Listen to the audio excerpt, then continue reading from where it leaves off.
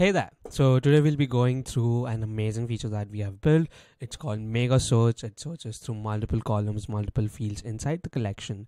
And not only that, we have a mega database as well. So it searches through all those fields at the same time really quickly and shows you the results. We have more than 4000 items in this collection. And let me let me show you how it works and then I'll show you how everything is set up. Okay? So let's jump right into it.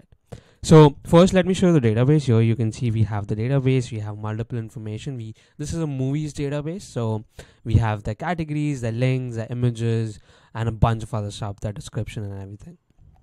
Right. This is the setup. I'll go through this, but let me show you the example first. Okay. So this is the home page. As soon as you log into the website, you see this. Now let's say you and not only the functionality, like we don't have just a drop down. We have it much more user friendly you know? We have developed it such that the interface is much more friendly and people have much better experience. So you can click on comedy drama you can unselect it if you want you can just click on action. So this is filtering through the genre.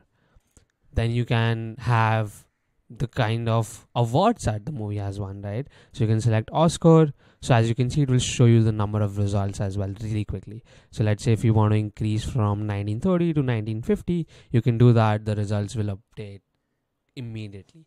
And this will you can select all if you want as well. And if you don't want to select them you can do that as well.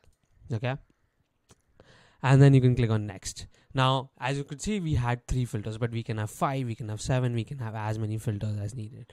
And there you go. It shows us the results very quickly. And you can see how beautifully it's designed. And uh, you can see all the information you can see the links and not only that you have a load more option as well.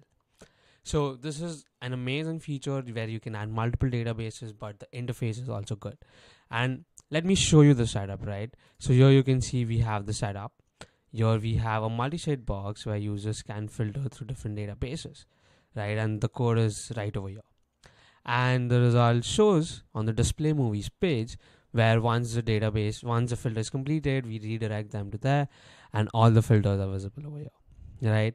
So this was a quick example if you want something like that or if you have any ideas that can relate to this i'll be happy to help you with that. You can book a call with us and i am really excited to work with you.